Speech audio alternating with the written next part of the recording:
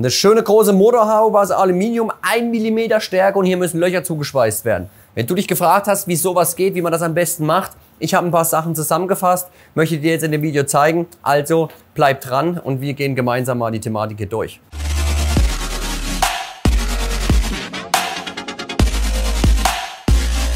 Sei erstmal herzlich gegrüßt zu dem neuen Video. Also wir haben hier ein 1 mm Aluminiumblech liegen, eine Motorhaube, wo jemand zu mir kam und gesagt hat, hier, diese Löcher müssen zugeschweißt werden. Ja, wie kriegt man das hin? Bestmöglich, mit wenig Verzug und auch so, dass halt das Blech nicht kaputt geht, weil zum Schluss soll das Ganze lackiert werden und dann soll das natürlich auch von der Oberfläche her ordentlich aussehen. Jetzt ist natürlich die Frage, wie gehe ich hier bei der ganzen Sache vor? Ich habe mir überlegt, es gibt mehrere Varianten. Da kam einem sowas vor wie Kupfer. Metall unterlegen, was die Wärme rauszieht. Nassen Lappen, Druckluft, MIG schweißen und und und. Und ich sage dir jetzt, wofür ich mich entschieden habe, wo ich gemerkt habe, was die beste Sache ist. Ach, und ich habe auch über Instagram eine kleine Umfrage gemacht und habe einfach mal so gefragt, was habt ihr so für Tipps? Äh, die gebe ich dir jetzt auch gleich noch mit. Und ich habe jetzt für mich die zwei besten Varianten, beziehungsweise drei besten Varianten rausgesucht und die teile ich dir jetzt mit. Extrem günstige Schweißtipps und Tricks von den Profis auf ihrem Gebiet. Möchtest du gerne absahen, dann musst du auf jeden Fall am 17.06. das Welt End 2.0 besuchen bei mir im Thüringer Wald. Die Tickets findest du in der Beschreibung unter dem Video, da kannst du dir die buchen. Gibt coole Goodie Bags. Wie gesagt, du kannst an dem Tag deine Fragen stellen, du kannst Produkte testen, es wird viele Gewinnspiele geben. Lass dir das auf jeden Fall nicht entgehen. Check das aus, buch dein Ticket Ticket und hab einen schönen Tag mit uns. Wir freuen uns auf dich. Ich habe mich quasi entschieden für mein ähm, MEW 211 Synpro von Weldinger. Warum? Hier habe ich Aluminiumdraht drin. Damit habe ich das Gerät quasi ausgestattet. Und da habe ich äh, für mich entschieden, dass das vom Schweißen her einfacher ist. Das Gerät ist erstmal ausgestattet mit einer Teflonseele. Ja? Ich habe einen ordentlichen großen Brenner, dass der auch ein bisschen Wärme ab kann von Rohwelt, ein MIG, ein 36er. Vorne auch die richtige Düse dafür zum Aluminiumschweißen. Und immer aufpassen, dass dein Schlauch schön frei liegt. Ganz, ganz wichtige Sache. Aber warum habe ich mich jetzt für MIG entschieden? Ich habe gesagt, beim MIG habe ich den Vorteil, es kommt sofort, wenn ich auf den Knopf drücke, der Draht raus und damit bringe ich sofort Material auf die Stelle. Beim Wickschweißen hingegen ist es so, dass ich natürlich jetzt erstmal mit dem Brenner das ganze Material aufschmelze und dann selber entscheide, wann ich den Zusatzwerkstoff dazugebe. Ich denke, dass ich hier durch das Wickschweißen erstmal viel mehr Wärme reinbringe und das ist natürlich ein Problem bei 1 mm Blechstärke. Zu viel Wärme, zu viel Verzug. Also bin ich deswegen in diese Werkstatt gegangen, weil das hier gut funktioniert. Übrigens, wir haben hier zwei neue Lampen angebracht. Also ich glaube mal, wir haben jetzt richtig Licht hier drin. sind zwei neue. Ich ärgere mich schon fast über die anderen. Man sieht es auch. Gell? Also wenn man das mal so im Vergleich, die hat mehr Leistung. Sieht man einfach. Aber es ist schön. Zum Filmen ist es perfekt. Und auch zum Arbeiten. Das ist nämlich viel wichtiger. Das machen wir ja mehr hier. so, ähm, gut, kurz abgeschwimmen. So, das war der Grund, warum ich mich fürs MIG-Schweißen entschieden habe. So, dann habe ich das getestet, habe übrigens auch über Instagram, wie gesagt schon, eine Umfrage gemacht, habe mal gefragt, was habt ihr für Tipps und Tricks? Und da kam auch mit Kupfer etc. Ich habe jetzt nicht Kupfer, ich habe hier das Stahlprofil drunter, was natürlich auch extrem gut Wärme ableitet oder rauszieht aus dem Ganzen. Das wäre quasi also der erste Step. MIG, wir haben Stahl unten drunter, was die Wärme rauszieht. Dann für mich essentiell, ich nehme es fast nur noch, wenn ich in dieser Werkstatt arbeite, nee, nicht nur fast, ich nehme es nur noch, ich sprühe mir mit dem Trennspray alles ein, damit ich hier keine hässlichen Stellen habe, wo dann mal Spritzer haften bleiben, obwohl es wirklich fast spritzerfrei ist, muss ich sagen, es geht echt gut. Aber hiermit haftet das natürlich erst nicht dran und jeder, der schon MIG geschweißt hat, weiß, wie nervig das ist, wenn du das nicht damit machst, weil dann geht es nicht ab die Spritzer. Ja, bei Stahl oder so, dann hast du dein Werkzeug dafür, dann gehst du mal drüber und rubbelst runter. Hier verschmierst es eher und machst Kratzer. Zum Schluss nimmst du den Lappen, machst das sauber. Das geht hier extrem easy. So, und du siehst hier vorne schon, das sind meine nächsten zwei Steps, nämlich ein nasser Lappen.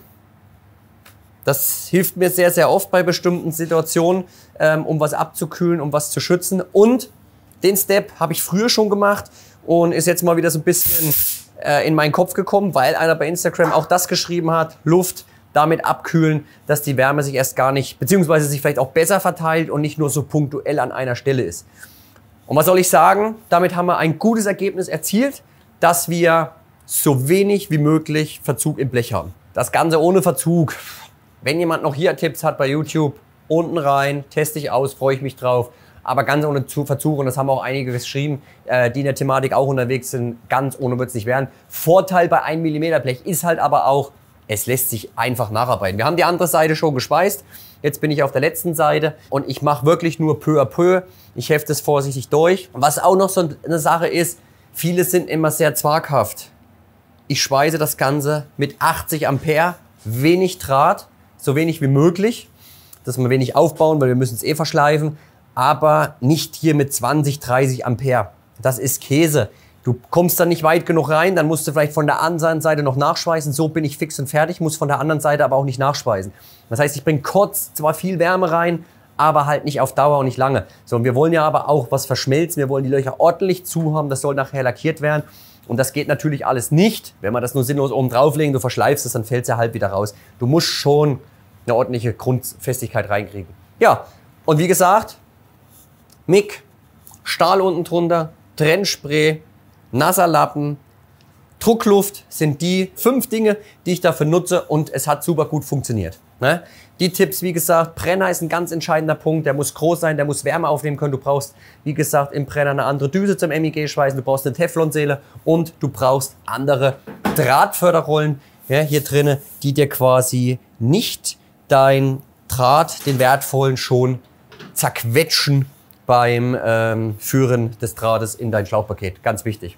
Ja, und dann muss das wirklich immer sehr frei liegen, dass das gar keine Knicke kriegt. Da bin ich immer extrem vorsichtig. Wir schweißen jetzt die restlichen Löcher zu. Dann nehme ich dich jetzt quasi noch mit. Aber das war wieder eine ganz interessante Sache und ich habe es bei Instagram gemerkt. Da haben sich einige dazu geäußert und Fragen gestellt. Und da habe ich gesagt, gut, okay, ich glaube, das lohnt sich hierzu auch nochmal ein Video zu machen. Gaben auch mega coole Tipps rüber. Also vielen Dank, falls das Video auch jemand von Instagram sieht. Ich hoffe es auf jeden Fall. Und wie gesagt, wer noch Informationen hat und auch was hinzufügen möchte, bitte haus unten in die Kommentare rein. Das ist immer geil.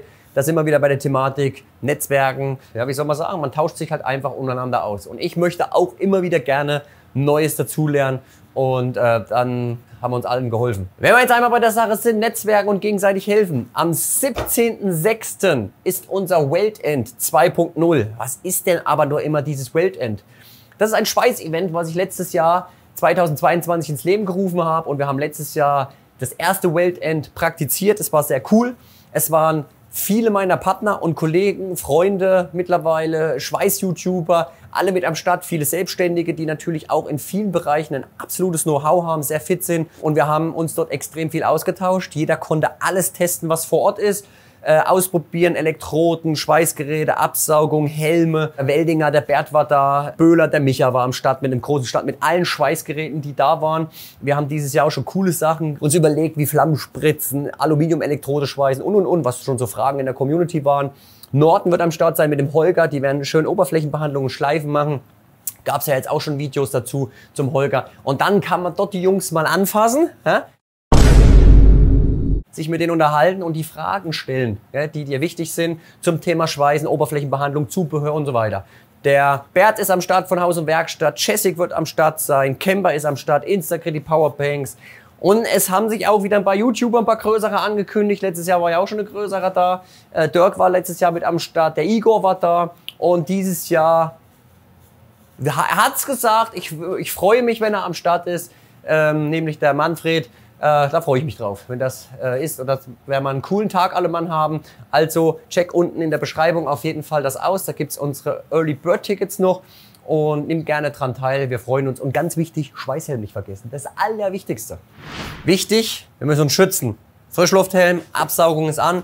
Wenn du das nicht hast, empfehle ich dir aber trotzdem immer Mundschutz, gut durchlüften. Du siehst das gleich. Da ist eine extreme Rauchentwicklung beim MIG-Schweißen und dann zeige ich dir mal, wie ich da durchgehe. Ich werde es dir schlecht erklären können währenddessen. Ich versuche es im Nachgang nochmal, nur dass du mal siehst den Ablauf. Ich werde das erst durchheften, dann nehme ich sofort den nassen Lappen, ja, den lege ich drauf, den lege ich mir mal hier direkt daneben, dass ich ihn gleich griffbereit habe. Dann nehme ich die Luft dazu und blase es komplett ab. Alles ein bisschen umständlicher, komplizierter, das ist halt so, aber so funktioniert es und das ist letztendlich der Punkt, um den es geht. Also Lappen ist nochmal angefeuchtet versuche dich jetzt hier optimal auszurichten, dass du das auch ordentlich siehst. Wir machen es einmal in hell, einmal in dunkel und dann solltest du es eigentlich optimal sehen. Schweißfan, endlich ist es soweit. Unser Online-Kurs ist fertig. Sei gegrüßt und herzlich willkommen. Im Alugussbereich gab es bis heute keine Möglichkeit, das irgendwo zu erlernen. Jetzt ist es aber möglich bei uns im Online-Kurs. Wie ich es eben gezeigt habe, bleibt die Kalotte auch schön stabil und klein. Aber auch Aluminiumschweißen, die Steps von Anfang bis Ende haben wir in einem Online-Kurs in mehreren Modulen zusammengefasst. Bestimme du, wo und wann und in welchem Tempo du das Aluminiumschweißen erlernen möchtest. Also der erste Step, ich mache nochmal Trennspät drauf, ruhig großflächig. Wenn das Zeug einmal dran klebt, hast du ein richtiges Problem und die Perlen, das weiß jeder, die fliegen gerne ein Stückchen weiter. Absaugung, jetzt könnte es ein bisschen laut werden. Lappen haben wir hier, Luft haben wir hier. Jetzt haben wir natürlich hier den Vorteil, dass hier schon Material ist, dickes, wo wir direkt dran gehen können. Dann nehmen wir das natürlich auch, um hier weiter zu arbeiten. Ja? Und beim Zünden nicht immer zu zaghaft sein. Man muss schon ein bisschen mal kurz Feuerwerk reinlassen.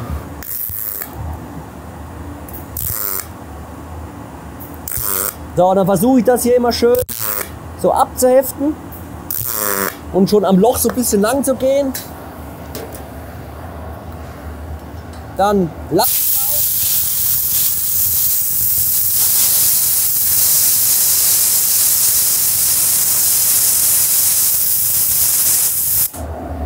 Das ging recht schnell. Wie gesagt, man muss sich ein bisschen beeilen. So, und dann kannst du es schon wieder anfassen. Und das ist der Effekt.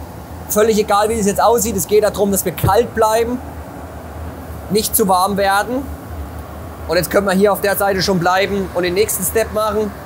Müssen wir ein bisschen trocken machen, das Ganze.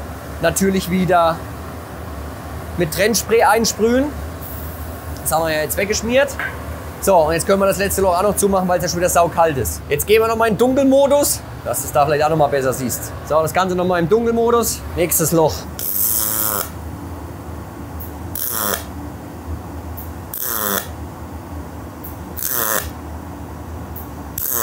So sieht das Ganze quasi aus. Und ich denke, man erkennt es schon ganz gut. Na, so eine ganz kleine ist hier. Also eine ganz kleine. Das kriegt man auf jeden Fall entspannt wieder raus, aber da passiert nicht viel. Vorteil mit der Luft ist natürlich auch die Feuchtigkeit vom Lappen kannst du dann gleich wieder wegblasen und dann hast du das Problem schon mal weg, dass man dann keine Feuchtigkeit an der Stelle hat. So ziehen wir das jetzt hier peu à peu durch. Nachher wird das natürlich noch verschliffen. Jetzt gehen wir noch an die drei Stellen hier. Die müssen wir jetzt noch machen. Das hier. Und jetzt können wir hier auch wieder perfekt hier dran gehen an die Stelle und bauen das hier dran so auf. Das heißt, der Brenner geht auch von der Seite dran und hier schmelzen wir das auf und lassen es quasi auf das Dünne rüberlaufen. Hier selbe Prinzip. Siehst, hier sind wir auch ganz gut reingekommen ins Material. Schön flach geworden. Das hat auch gut geklappt und das machen wir natürlich jetzt mit den Löchern auch noch.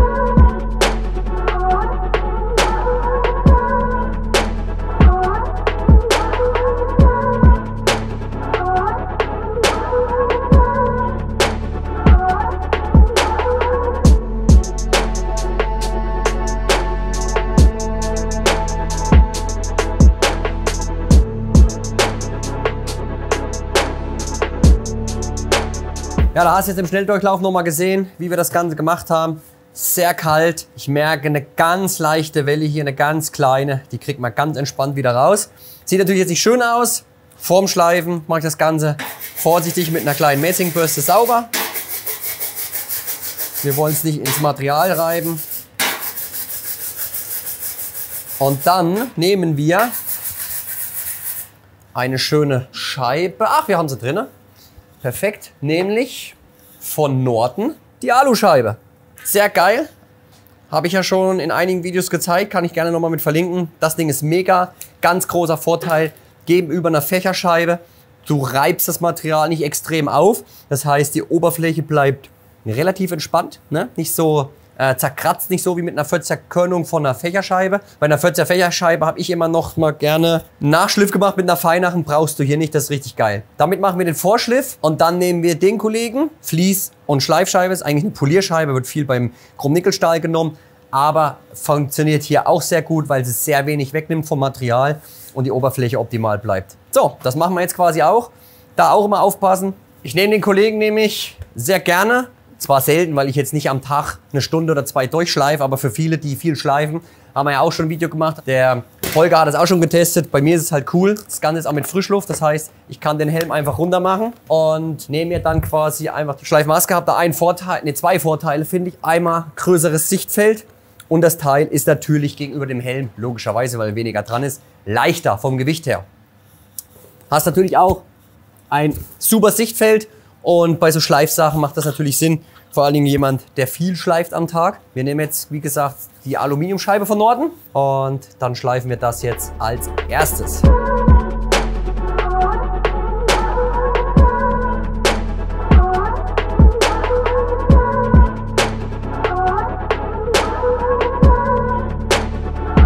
So, so sieht das Ganze verschliffen aus. Hat dann auch eine schöne Oberfläche von dieser schönen Fächerscheibe. Und jetzt habe ich es mir schon ausgerichtet für die andere Seite. Das Ganze wird eh noch gespachtelt, aber das sieht gut aus. Verformt hat sich auch nichts weiter. Das habe ich mit den Händen gerade ein bisschen fertig gemacht. Ich habe jetzt nochmal einen Kupferbock geholt. Dann teste ich das jetzt nochmal hier an der Stelle. Aber ja, ich denke, dass es trotzdem auch eine interessante Sache war. Würde mich, wie gesagt, über dein Feedback freuen, wenn du sagst, ey Erik, da habe ich ja noch eine viel bessere Idee oder ich habe den und den Erfahrungswert gemacht. Ich schweiße jetzt noch die vier Löcher zu. Würde mich sehr über dein Feedback freuen und natürlich auch, wenn wir uns zum World End in Tellamelis am 17.06. sehen. Wie gesagt, unten in der Beschreibung findest du den Ticketvorverkauf. Ist eine coole Nummer. Du kannst auf jeden Fall was lernen, netzwerken, neue Sachen erfahren, ausprobieren. Ich sage immer eine moderne, coole Messe, aber viel interaktiver. Ja, dann lass es dir wie gesagt erstmal gut gehen und wenn du Hilfe brauchst bei solchen Projekten und selber die Möglichkeit nicht hast, findest du hier unten den Link, wo du Kontakt mit uns aufnehmen kannst und hier oben findest du ein Video, wo wir schon einiges an Aluminiumschweißen gemacht haben, wo es Tipps und Tricks gibt. Zieh dir das sehr gerne rein, lass es dir gut gehen und wir sehen uns zum nächsten Video. Bis bald.